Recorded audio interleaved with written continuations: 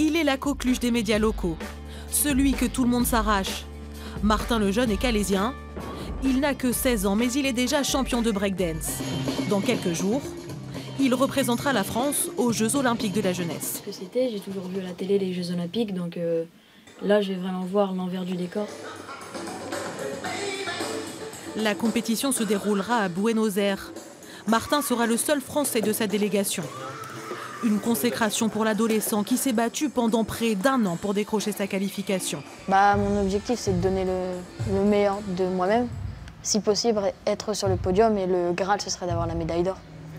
Mais avant de décrocher l'or, pour briller, il faut s'entraîner. Ce serait bien vraiment d'accentuer la- après le 2000 quand tu tombes sur le coude. Technique, figure, danse, chaque détail compte. Il a ses petites séquences déjà travaillées, mais il va être capable vraiment de les faire, euh, de les mettre à fond en valeur sur l'instant. Le DJ il va jouer un son et lui il va adapter le passage qu'il a prévu à la musique. Et c'est ce qui fait la différence entre ceux qui vont exécuter et ceux qui vont danser. Martin a commencé la danse à l'âge de 9 ans.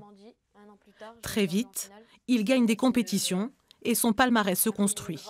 Alors ça, c'est le premier battle que j'ai gagné en 2013. Puis euh, celle-là, le trophée du championnat de France.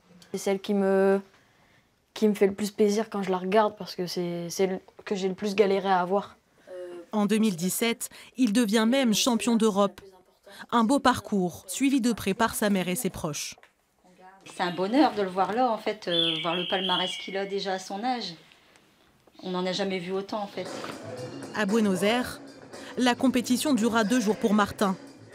Deux jours pour tenter de décrocher la plus belle des médailles. go.